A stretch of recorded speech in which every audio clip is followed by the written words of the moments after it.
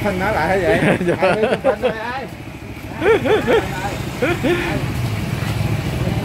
dạ.